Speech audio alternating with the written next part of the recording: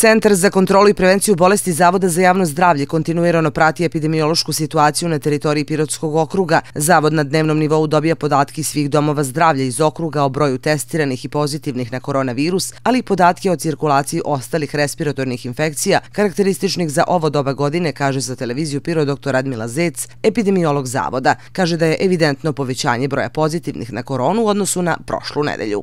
Od ponedeljka e, do srede već smo registrovali preko 60 pozitivnih, a u prošloj nedelji je bilo 90. Već se vidi da je početkom ove nedelje evidentan porast i procenat pozitivnosti se kreće od 20 do 25 posto, što je izuzetno visok procenat pozitivnosti testiranih na COVID. Pored toga e, cirkulišu i ostale respiratorni virusi, bakterije e, u dečijem uzrastu, u kolektivima, u prečkolskim ustanovama, u školama i tekako e, je dobro, da kažem, ima uslove za prenošenje tih respiratornih infekcija, ali je činjenica da se jako mali broj dece testira na COVID, ali zato vladaju i druge streptokokne, stafilokokne, bakterijske infekcije, čak i šarlak po neki slučaj. Virus korona je oslabio i nije tako agresivan, ali ima podataka da i dalje obolevaju stariji kod kojih može COVID infekcija da izazove komplikacije. Zbog toga je potrebno poštovati opšte mere prevencije i podsjeća građane da je nošenje maske u zdravstvenim ustanovama ne samo obaveza, već dobar način da zaštitimo i sebe i druge zbog velike cirkulacije ljudi. Onaj ko je pozitivan i onaj ko ima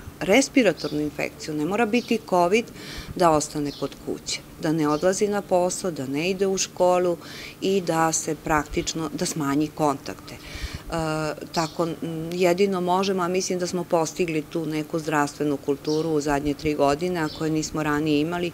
Kao vid prevencije, idući u susret sezoni, u toku je i vakcinacija protiv sezonskog gripa. Za dve nedelje je vakcinisano 1555 e, lica na nivou okruga od 4000 doza koje smo dobili.